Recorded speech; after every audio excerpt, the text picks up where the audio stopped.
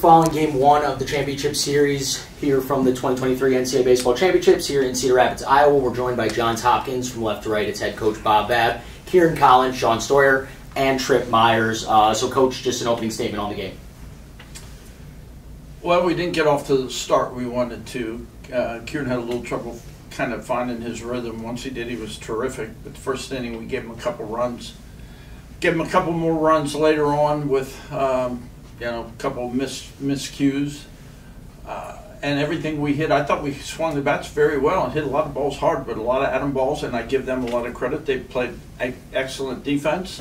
Their pitcher was just pounded the zone to, to give us any walks.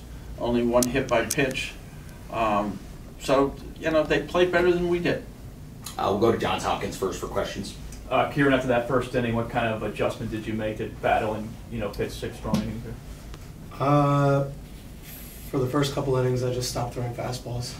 Um, and then after that, did a little bit better job staying on top of it. I was underneath it early and got away from me and saw the results, obviously. Three free passes. Uh, Jim? Um, Sean, another stellar day. Um, you got a, a big hit. Um, sort of just talk about um, your approach when you were getting hit. Uh, yeah, I mean, a couple things didn't go our way as a whole. I mean, for me, I would I would have loved to do more in that one spot, but it is what it is. I know. I mean, we just had. It felt like our whole lineup today swung the bats pretty well. I thought it was one of our better hitting days in the entire tournament, to be honest. It seemed like everyone was putting the barrel on the ball, and it just wasn't going our way today. So there's not much you can really do except just chalk it up and bring that same approach into the next game, and hopefully, just things work out for us a little better. Um, Tripp, the Lynchburg pitcher, had a pretty good day. Um, what was he doing to keep you guys off balance?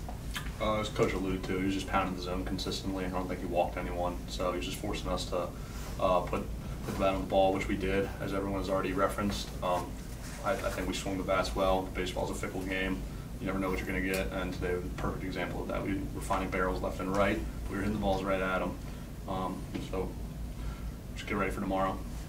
Now, Coach, you're in this position in the Super Regional. Um, Absolutely. And so, how do you get your guys ready to um, play tomorrow?